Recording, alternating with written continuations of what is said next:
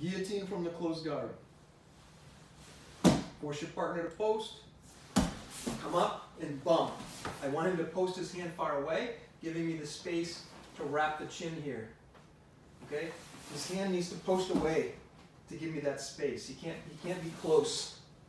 All right? So when I come up, I need to bump. Wrap. Now from here, once I have the chin strap, my, my palm goes to my chest. Hip escape. All right, bring the arm in, connect palm to palm. Uh, sorry, grab, the, grab your four fingers.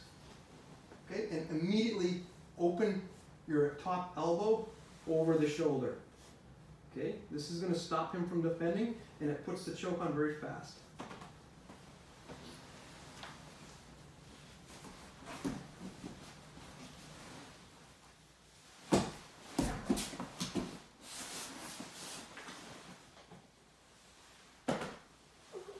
Notice that I'm on my hip, I'm not flat on my back. I'm on my hip, and as I go to my hip, I've connected, and I open my elbow over the back. This helps block his defense and makes the choke come on very fast.